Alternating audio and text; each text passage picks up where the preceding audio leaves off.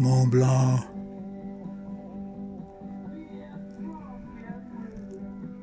Gran Paradiso. Monteviso, ah, ah, sieht man